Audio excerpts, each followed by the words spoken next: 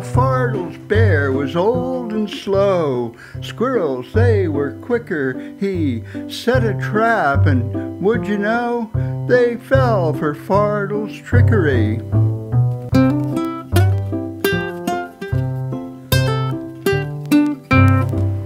As years went by, the squirrels changed to catch them. It got harder, 'cause he easily caught the dumber ones, and the ones he missed were smarter.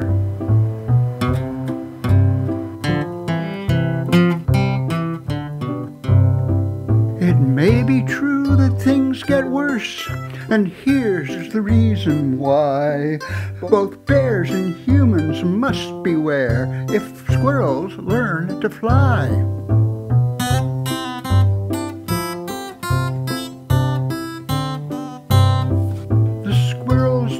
Taunted Fartles Bear, your loss is merely our win.